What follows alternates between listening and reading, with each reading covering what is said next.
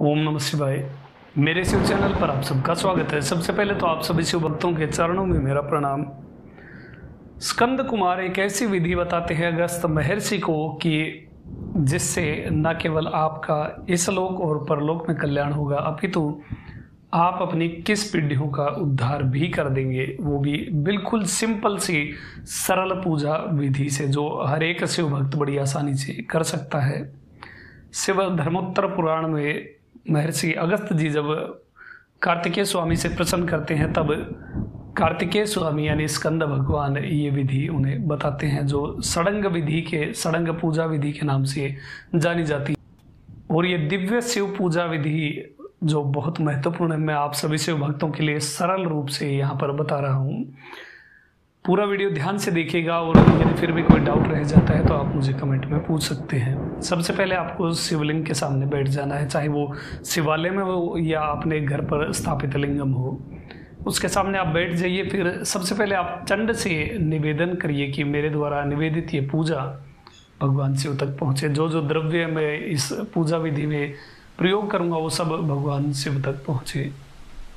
अब इसके बाद आपको सबसे पहले शिवलिंगम को स्नान कराना है। जो भी जल आप शिवलिंग स्नान के लिए यूज़ में लेंगे, वो सब वस्त्र से छाना हुआ होना चाहिए और शीतल होना चाहिए। अब सबसे पहले आपने शिवलिंग को स्नान कराया, उसके बाद आप वस्त्र से शिवलिंग को पहुँच दीजिए। फिर उसके बाद आपको पहले दूध से स्नान कराना है। चाहे जल चढ़ाएँ, चाहे दूध चढ़ाएँ, चाहे दही चढ़ाएँ, जब भी आप कुछ द्रव्य चढ़ाएँगे तो शिवलिंग का सिर नंगा नहीं होना चाहिए, उसके ऊपर बिलपत्र या पुष्प रखा होना चाहिए। सबसे पहले स्नान कराया, उसके बाद दूध से स्नान कराया, फिर दही से स्नान कराया, और उसके बाद आप शहद से स्नान कराएँगे, और लास्ट में आप घी से स्नान कराएँगे। घी गाय का होना चाहिए। इससे आप स्नान कराइए, फिर अच्छी तरह से शिवलिंग को पूर्ण रूप से पहुँच दीजिए वस्त्र से, पूरा साफ़ करके पुनः आप शीतल जल से शिवलिंग को स्नान कराए इसके बाद आप गोरोचन का लेप शिवलिंगम पर करेंगे। यदि गोरोचन आपको उपलब्ध नहीं होता है तो कोई बात नहीं, आप जो घिस करके लकड़ी का चंदन होता है, वो एक घिस करके पूरा पेस्ट आप एक पात्र में निकाल लीजिए, कटोरी में निकाल लीजिए, फिर उस पूरे चंदन को पूरे शिवलिंगम पर लेप कर दीजिए। पूरे शिवलिंग पर लेप कर दीजिए ताकि भगवान पूर्ण रूप से सुगंधित हो जाए।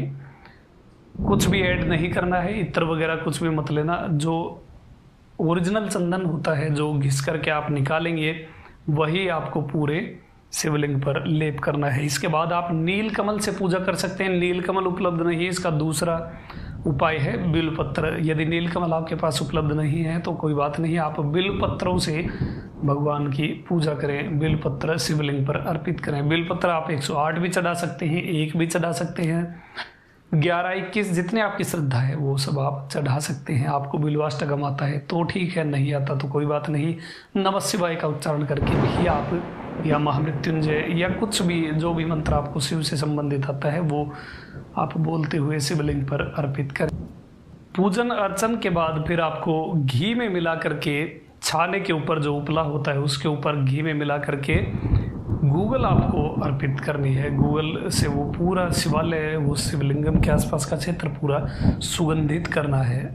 जो गूगल होती है, वो ओरिजिनल देखिए, ये गूगल आप उस छाने के ऊपर डालेंगे तो पूरा शिवालय सुगंधित हो जाएगा। बहुत प्रयास करिए आपको प्योर क्वालिटी की गूगल आपको प्राप्त हो जाए।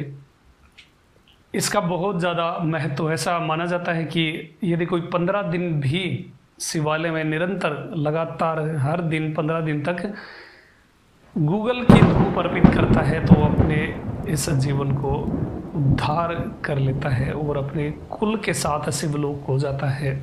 इसलिए गूगल का बहुत ज़्यादा महत्व है। ये पूजन अर्चन करने के बाद आपको घी से युक्त करके इस गूगल को छाने या उपले के ऊपर रख देना है तो वो अपने आप ही पूरा शिवालय सुगंधित हो जाएगा। बहुत जल्द प्रयास किया जाएगा कि मैं कुछ आपको ऐसे सोर्सेज दूँगा जहाँ से आपको कुछ ऐसी जगह बताऊँगा या नंबर बताऊँगा जिससे आप प्योर ये गूगल प्राप्त कर सकेंगे।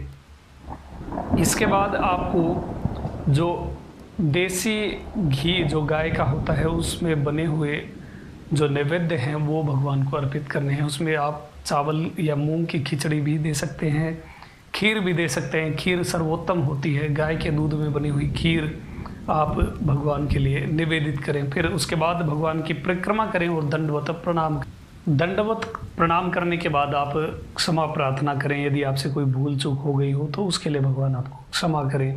क्षमा प्रार्थना में आप अपनी भाषा, जो मातृभाषा है आपकी, उसमें भी बोल सकते हैं, या फिर आवाहनम न जाना में न जाना में ये सब मंत्र भी आप बोल सकते हैं। जैसा भी आपको सुविधानुसार लगे, वैसा आप भगवान के सामने क्षमा प्रार्थना करें और अपनी मनोकामना कहें, इस सड़ंग विधि से भगवान महादेव बहुत प्रसन्न होते हैं, ऐसा लिखा है। इस सड़ंग विधि से पूजा करने पर महादेव प्रसन्न होते हैं, वो इस लोक और परलोक की कामनाएँ पूरी करते हैं। यहाँ तक कि एक राजा को भी इस सड़ंग विधि का पालन करना चाहिए। ऐसा लिखा गया है कि ऐसा शिव भक्त अपने इक्कीस कुलों को तार देता है। इतनी ज़्यादा इम्पोर्टेंट ये सड़ंग विधि है। ये पूरी विधि मैंने आपको सरल सरल भाव से बता दी है। यदि फिर भी आपको कोई डाउट है तो आप मुझे कमेंट बॉक्स में पूछ सकते हैं। इस, प्रयास करिए, बहुत ज़्यादा कठिन विधि नहीं है। प्रयास करिए, पूरे श्रावण मास या फिर कृष्ण पक्ष की अष्टमी या फिर आद्रा नक्षत्र या फिर प्रदोष या पूर्णिमा, अमावस्या, मासिक, ये शिवरात्रि, जब भी आपको समय मिले, उस दिन कम से कम ये पूजा विधि आप फॉलो करिए। तो ये थी जानकारी सड़ंग पूजा विधि के बारे में, जिसे स्वयं कार्तिकेय स्वामी ने अगस्त महर्षि को बताया है। बहुत ही सरल और इम्पोर्टेंट विधि है। आप सभी से व्यक्ति इसको फॉलो करिए और अपने और अपने कुल का उद्धार कीजिए। अभी तक के लिए इतना ही। कोई भी डाउट है तो आप कमेंट में मुझसे पूछ सकते हैं। आपका दिन शुभ हो। महादेव, कृपा करें। ओम नमः शिवाय।